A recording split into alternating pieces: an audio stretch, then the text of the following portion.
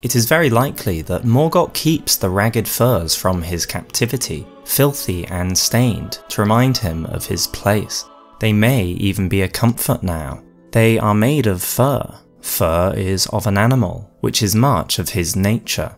His head sits in a collar shaped almost like a crucible. Under the Erdtree, no matter his power or social rank, he is an omen, and he will make sure he never forgets it. He is willing to live in rags, to disdain and resent himself, such is his love for the Erdtree. A mother to a demi-human once made a Prattling Pate sculpture in the shape of her child's face. It says, you're beautiful. The description says unconditional love, unrestrained assurance. It must have been a mother speaking. But some women in this world do not share these instincts.